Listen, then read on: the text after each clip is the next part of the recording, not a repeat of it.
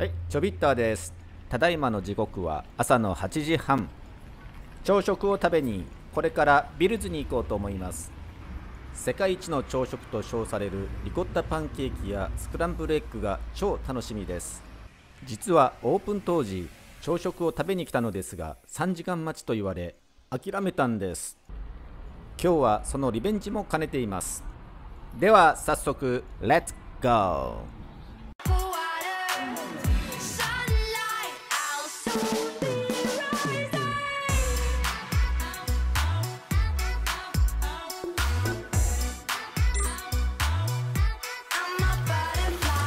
そびたび。分かりやすいコースメニューが用意されていました。リコッタパンケーキやスクランブルエッグが含まれているので迷わず選択。まずはサンライズドリンク。ちょっと飲んじゃったかも。自家製グラノーラ。これは2名分で食べたら結構お腹が膨れます。フルオージーブレックファスト。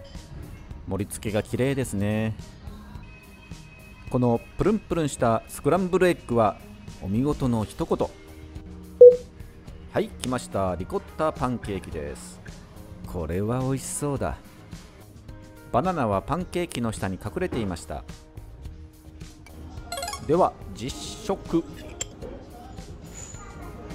甘くなくていい感じです。そして柔らかい。メープルシロップをぐるっとかけると美味しさが倍増します。オーストラリアのやつは3枚ぐらいあったような気がする。どんどんどんってねコーヒーも苦いですけどいいですかって言われて頼んだら本当に苦かったってこの写真は2016年に訪れたシドニービルズ本店ですなんか微妙に違いますね。これが超苦いやつ。コーヒーだったんだろうか。これは何だろう。メニューに写真がないので来るまでのお楽しみでした。でもいい思い出です。完食食後のドリンクはフラットホワイト。大満足なコースでした。そびたびはい福岡市のランドマーク福岡タワーへ向かっています。路線バスで向かうと都市高速に乗れたり荒津大橋を渡れたりしてお得ですよ。車窓を眺めていると時を忘れすぐに到着。久しぶりの福岡タワー。オープン当時階段で展望台に登った記憶があります。現在は超ウルトラ階段上り大会のイベントの日だけ階段で登れるようです。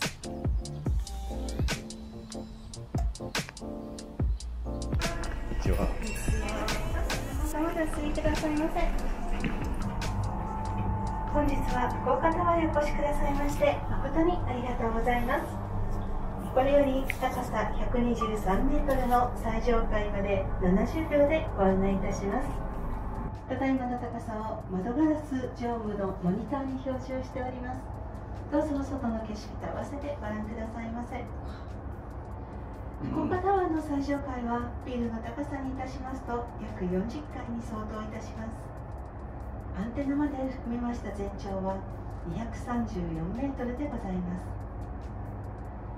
日本国内では東京スカイツリー東京タワーに次いで3番目の高さでございます右手眼下にご覧いただけております。お城のような建物は結婚式場のマリゾンでございます。あちらの周りは海浜公園となっております。お帰りの際は最上階より恐れ入りますが室内階段を2階分お降りいただきました。展望室1階より下りエレベーターのご利用お願いいたします。お待たせいたしました。最上階展望室3階到着でございます。どうぞませ福岡タワーのおもてなしいいですね。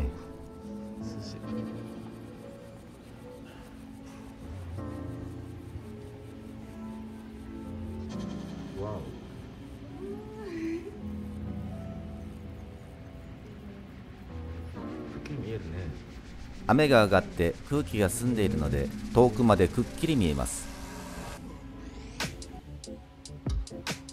えー、っとこれは VR スカイウォーク123です。エレベーターでも説明があった結婚式場のマリゾン。大きなドリームが詰まってそうですね。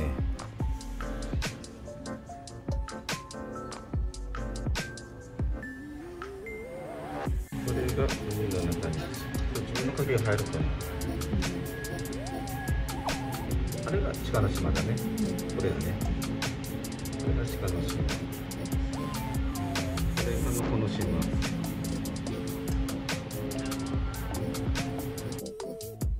オズモポケットにグランジのワイドレンズをつけてみました。広角に撮れていい感じです。下に降りようとしたらスタンプラリーを発見。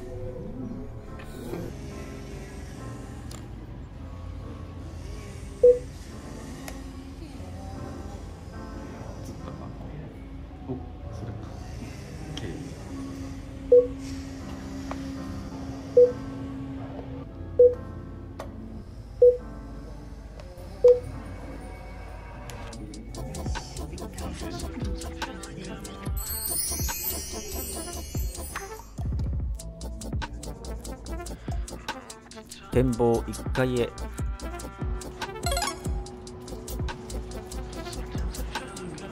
ぱい入ってる。福岡明太か。やっぱ食の街なんだね。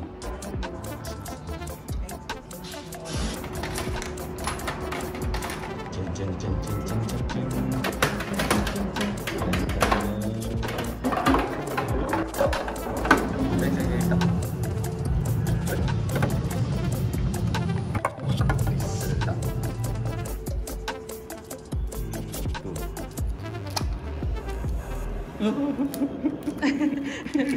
足が出てきて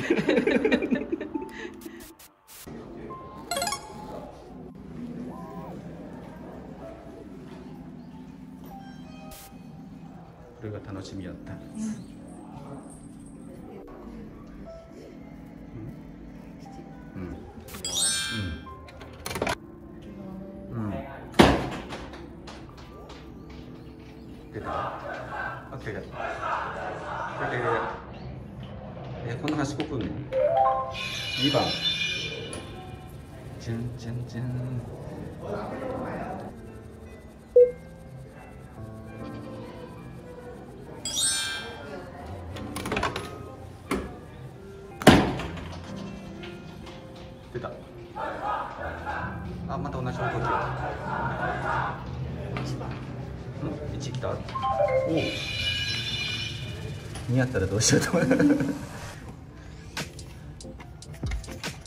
大吉。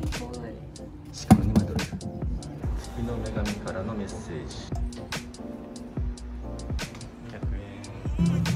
で入れて。あ、おみくじだ。よ。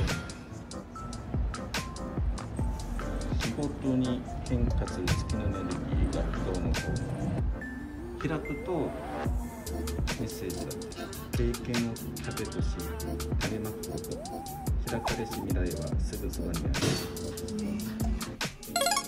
はいちょびったが苦手な聖域です。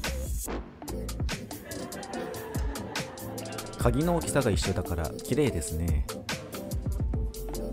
ちゃん妻に促され覚悟を決めたちょびった周りに誰もいなくてよかった。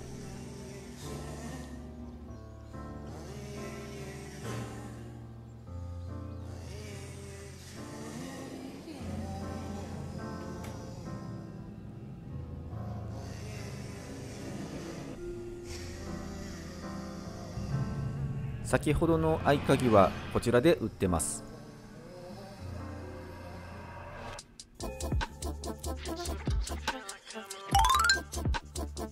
バスで3点戻ると PayPay ドームに着きます。